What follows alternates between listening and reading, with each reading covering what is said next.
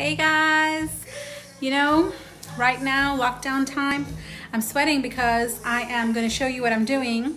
But lockdown time, we need more um, comfort for our heart, our mind, our spirit. There's so many thoughts rolling around with us, our children, and so this is what I'm doing. Uh, let me see if I can put that. So I got myself this split mung that I tell y'all about and the benefits of it. I'm putting it into my NutriBullet and I'm just grinding it right up. And I've already made one whole bottle of this for us to use. So it keeps our minds, our bodies, and our souls aligned. So I just want to show you how I'm doing it.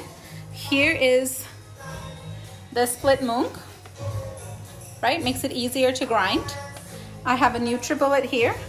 I'm using that and I'm using this blade.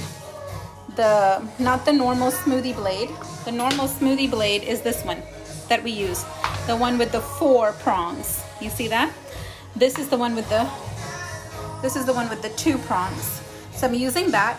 I fill up the container. I uh, put the lid on and I just grind away.